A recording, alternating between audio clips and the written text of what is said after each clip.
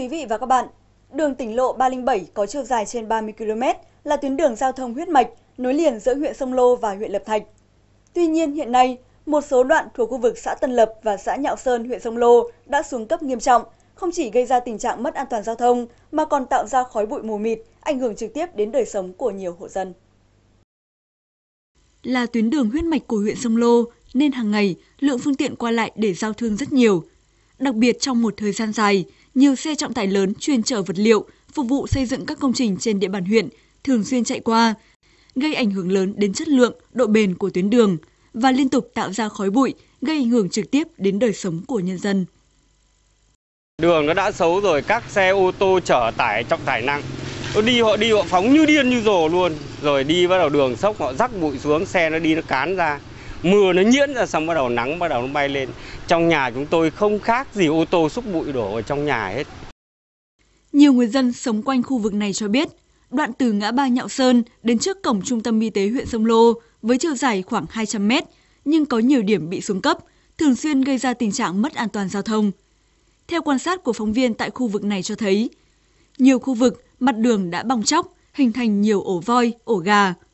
Có những vũng nước động lại đục ngầu khiến cho việc lưu thông đi lại của người dân rất khó khăn. Nhiều phương tiện khi đi qua đoạn đường này phải giảm tốc độ hoặc phải nhường nhau để tránh va quệt. Đặc biệt, theo những người dân sống gần đây cho biết, trong vài tháng trở lại đây đã có không ít vụ tai nạn giao thông xảy ra.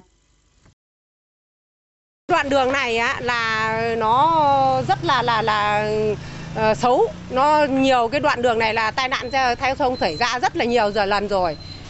Thực tiếp như là chúng tôi chẳng hạn là chúng tôi cũng đã bị ngã mấy lần rồi và ô tô à, xe máy coi như là ngã chồng chéo lên nhau rất nhiều. Hôm nay các anh quay là nó là đẹp, là đường hôm nay là đẹp. Thế nhưng mọi ngày á, là đường nó còn những cái ổ gà nó nó bằng một cái gian nhà dân không đi được mà rời mưa rời gió coi như là dân người dân người ta rất là là là là bức xúc. Để đảm bảo an toàn giao thông tại khu vực này, lực lượng cảnh sát giao thông huyện Sông Lô thường xuyên phải cắt cử cán bộ, tăng cường trực chốt để phát hiện, xử lý nghiêm các trường hợp vi phạm an toàn giao thông, đặc biệt là đối với các trường hợp xe chở quá trọng tải.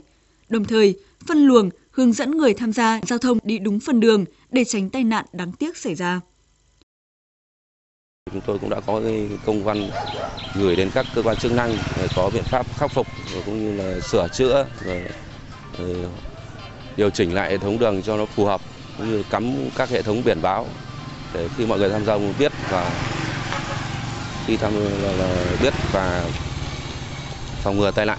Đồng thời chúng tôi cũng giờ cao điểm là cũng tăng cường công tác tuần tra những cái điểm mà phức tạp về trật tự an toàn giao thông với mật độ giao thông đông như là dễ xảy thường xảy ra tai nạn giao thông để hướng dẫn mọi người đi đúng phần đường của mình cũng như là giảm tốc độ khi đi qua những cái phần đường hỏng cũng như là cong cua dễ gây tai nạn.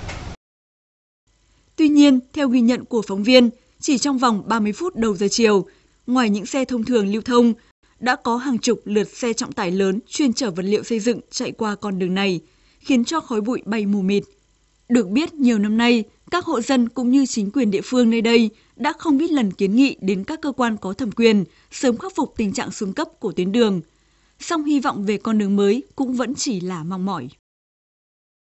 Đoạn mà đi qua cổng bệnh viện đa khoa của huyện Sông Lô thì nhân dân đi lại rất là khó khăn, bụi bẩn cho hai cho nhân dân ở hai bên đường cùng lại là mất an toàn giao thông. Đối với địa phương chúng tôi và nhân dân thì là rất là bức xúc. Còn nhân dân thường xuyên lên xã để phản ảnh. Đối với chúng tôi là đề nghị là tỉnh với huyện là có sớm có cái kế hoạch sửa chữa nâng cấp cái tuyến đường này. Khói bụi từ những đoàn xe trọng tải lớn và lầy lội từ sự xuống cấp của con đường hàng ngày đã trở thành nỗi ám ảnh thường trực với những người dân mỗi lúc phải đi qua con đường này. Thiết nghĩ, để những người dân nơi đây không còn phải gánh chịu những hệ lụy từ đường xuống cấp, thì các ngành chức năng cần phải nhanh chóng vào cuộc.